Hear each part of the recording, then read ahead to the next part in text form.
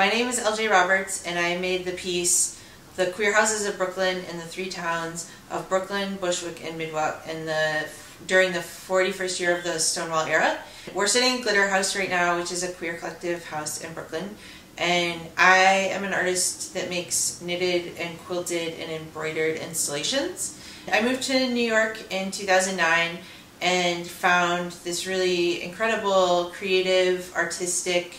performance filmmaking community of queer people living in Brooklyn. And so the map is um, it's quite large and you can approach it. Um,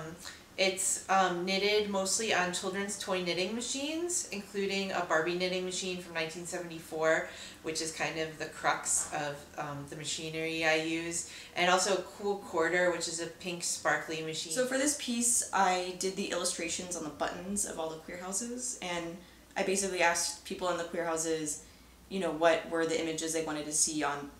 on the icon of their house. Or I either did that or I kind of just literally drew what their house name was. So I made the map that LJ based this piece off of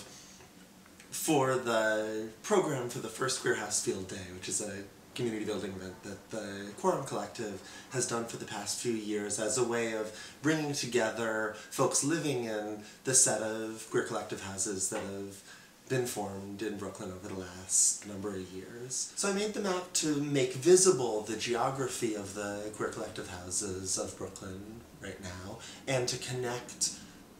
this moment to the his to both queer history and to the underlying history of Brooklyn. I'm really excited to be part of like this Brooklyn scene right now that feels like we're all working together to kind of continue on this queer tradition of making art in New York.